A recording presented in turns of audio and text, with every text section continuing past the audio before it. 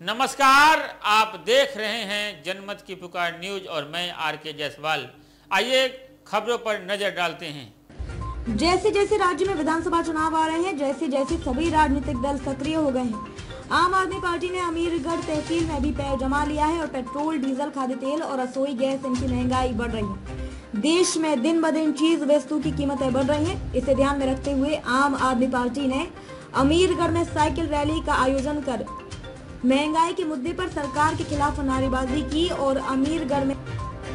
मामलतदार को आवेदन पत्र सौंपा रैली का आयोजन अमीरगढ़ तहसील आम आदमी पार्टी के अध्यक्ष भारत सिंह डाबी की अध्यक्षता में किया गया था जिसमें अमीरगढ़ तहसील आम आदमी पार्टी के पदाधिकारियों और कार्यकर्ताओं ने बढ़ती महंगाई को रोकने के लिए सरकार के खिलाफ प्रदर्शन किया गुजरात से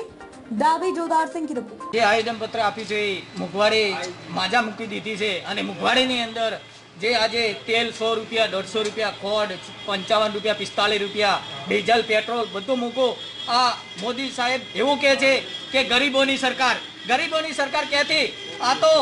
ક્યાં પોકાડ્યું છે? ડીઝલ, પેટ્રોલ, તેલ ને રાધણ ગેસના ભાવો અત્યારે આવા તો અમે કોઈ વખત જોયા નતા. આ સરકારે ખૂબ જ ભાવ વધારો કરી દીધો છે એટલા માટે કરીને અમે આજે આવેદન પત્ર આપ્યું છે અને સરકારને ઉપરના લેવલ પણ ધ્યાન દોરે છે કે આ મોંઘવારી દૂર કરો દૂર કરો ભાઈ, દૂર કરો. આ અમે એ નારા સાથે આ આવેદન પત્ર આજ અમીરગઢ તાલુકાની અંદર આપ્યું છે જય હિન્દ જય ભારત नमस्कार मैं आर के जायसवाल और आप देख रहे हैं जनमत की पुकार न्यूज